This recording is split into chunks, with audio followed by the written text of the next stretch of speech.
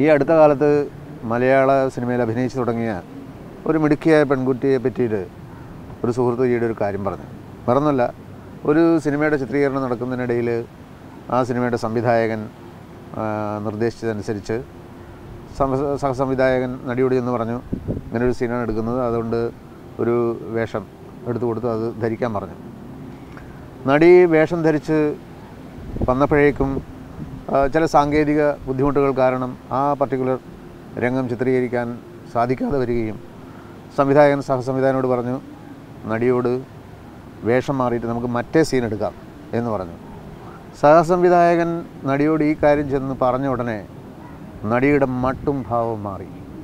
പൊട്ടിത്തെറിച്ചുകൊണ്ട് കരഞ്ഞുകൊണ്ട് നടി സഹ സഹസംവിധായകനോട് പറഞ്ഞു ഒരു വേഷം ഇട്ട് ഒന്നും എടുക്കുന്നതിന് മുമ്പ് വീണ്ടും വേഷം മാറാനോ നടപ്പില്ല.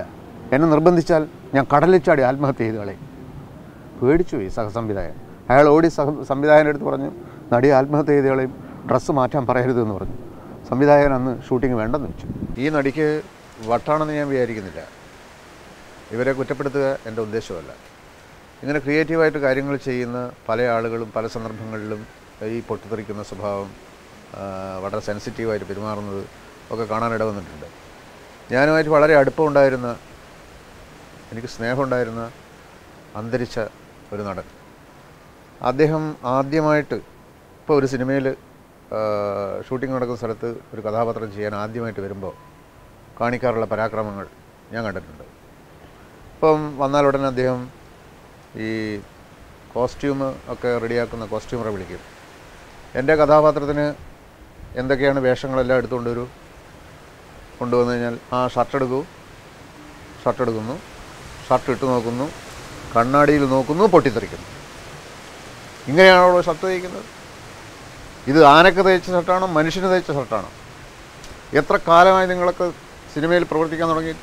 നിങ്ങളൊക്കെ പ്രൊഡ്യൂസർമാർ കുത്തുവാളി എടുക്കാൻ വേണ്ടി ഇറങ്ങിയിരിക്കുന്നവരാണ്. മനസ്സിലായോ? കൊണ്ടുപോയി ശരിയായി കൊണ്ടോ പിടിച്ച് പറിച്ച ഷർട്ട് വലിച്ചെറിയുന്നു. അങ്ങനെ കോസ്റ്റ്യൂമറി ഈ ഷർട്ടും കൊണ്ട് പോകാൻ പിന്നെ അടുത്തത് അദ്ദേഹം മേക്കപ്പ് മാനെ വിളിക്കും. എന്നിട്ട് ഈ കഥാപാത്രത്തിന് ഇതിൽ വിഗ് ഉണ്ടോ തലയിൽ ആ വിഗ് ഉണ്ട് സാർ. എന്ന് പറഞ്ഞാൽ ആ എന്നാൽ വിഗ് കൊണ്ടുവരൂ.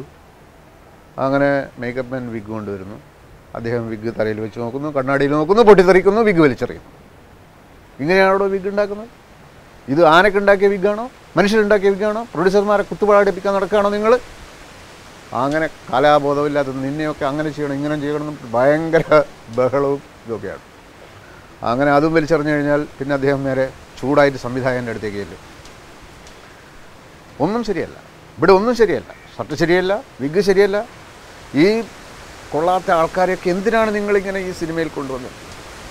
അപ്പോൾ ഈ നടന്റെ സ്വഭാവം അറിയാവുന്ന സംവിധായകൻ വെറുതെ ഇങ്ങനെ ഇരിക്കുകയുള്ളൂ ആ അല്ല അത് എന്നൊക്കെ അവർ ശരിയാക്കി കൊണ്ടുവരും എന്നൊക്കെ പറയും. അങ്ങനെ കുറച്ച് സമയം അങ്ങനെ കഴിയും. കുറച്ച് കഴിയുമ്പോൾ ഈ കോസ്റ്റ്യൂമർ സാർ എല്ലാ പിന്നെ വെട്ടും തിരുത്തും എല്ലാം ശരിയാക്കി. ഷർട്ടൊക്കെ ഗംഭീരമായിട്ടുണ്ട്. എല്ലാം കറക്റ്റ് ചെയ്തു എന്ന് പറയും. ശരിക്കും പറഞ്ഞാൽ കോസ്റ്റ്യൂമർ ഒന്നും ചെയ്തിട്ടുണ്ടാവില്ല. അപ്പോൾ ഇദ്ദേഹം അങ്ങ് വാങ്ങിയിടും. എന്നിട്ട് കണ്ണാടിയിൽ നോക്കും. ഇവിടെ ഇത് തനിക്ക് ആദ്യമേ ചെയ്ത് കൊണ്ടുവന്നാൽ പോരായിരുന്നു. മനുഷ്യനെ വെറുതെ ഭ്രാന്ത് പിടിപ്പിക്കാൻ. കോസ്റ്റ്യൂമർ ഒന്നും ചെയ്തിട്ടില്ല.